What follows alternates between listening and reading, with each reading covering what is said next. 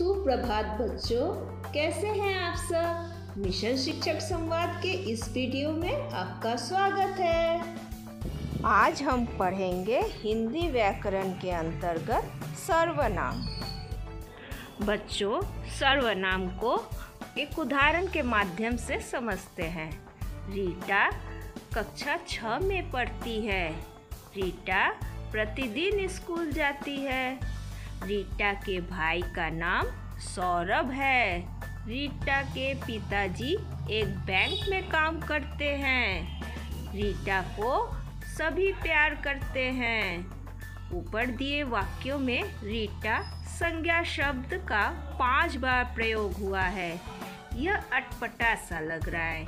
इन वाक्यों को अगर हम इस प्रकार लिखें, रीटा कक्षा छ में पढ़ती है। वह प्रतिदिन स्कूल जाती है। उसके भाई का नाम सौरभ है। उसके पिताजी एक बैंक में काम करते हैं। उसको सभी प्यार करते हैं। इस प्रकार रीटा शब्द एक ही बार आया है।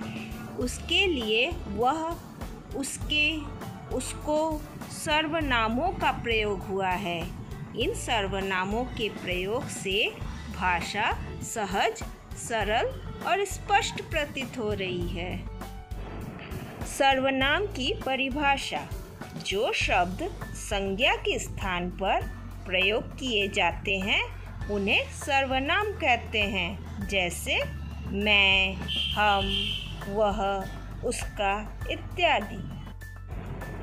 सर्वनाम शब्दों का प्रयोग संज्ञा शब्दों के दोहराव से बचने के लिए किया जाता है। अनुच्छेद में बार बार एक ही संज्ञा शब्द का प्रयोग करने से भाषा की सुंदरता कम हो जाती है। संज्ञा शब्दों के स्थान पर सर्वनाम प्रयोग भाषा को गति प्रदान कर उसे सजीव तथा लचीला बनाता है। प्यारे बच्चों अब अभ्यास कार्य को करके अपने स्कूल के व्हाट्सएप ग्रुप में ज़रूर भेजिए। अगले सप्ताह हम फिर मिलेंगे। तब तक के लिए नमस्कार।